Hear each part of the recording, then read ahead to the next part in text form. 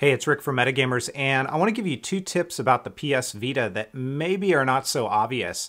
I picked up my Vita on February 15th, and I've had some time with it. I like it so far, but it's not incredibly intuitive.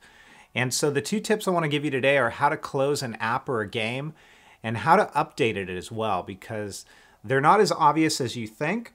So first, let me show you how to update a game, because this is not very obvious. I'll take Little Deviants as an example, and I'll also mention that Uncharted has an update as well.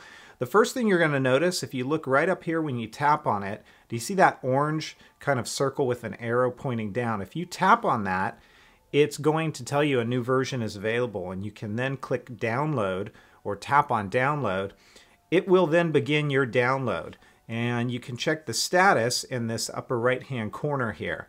Now, when that is complete, it is not going to update automatically. And I'll show you how you can go about doing that in just a moment. Once your download has completed, you're going to see it in your notification box. It says the download is complete, and that's not the end of it. So just because you've downloaded it does not mean it is installed now.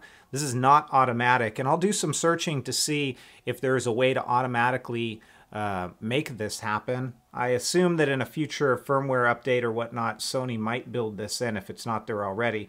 But the next thing you need to do to install this is, again, you're going to tap on that orange kind of circle there and it's going to install that update for you. So it is a couple step process. The first being that you do need to click on the orange circle to download it. And the second being once it's completed downloading, you're going to need to click on it again to install it. You'll notice that it has now disappeared. Now the second thing that you're going to want to uh, know how to do is to close an app or a game because if you look right up here you're going to see the different apps that I've got open. Right now you can only see the home icon and little deviants. But the way that you close an app see how this page is kind of curled? You just swipe like that. It is now closed. And you can always look right up here at the top and see what you have open. And if you tap into those things you can certainly close them just by going like this. So that's all there is to it. Those are a couple of quick tips for the PS Vita in case you didn't know.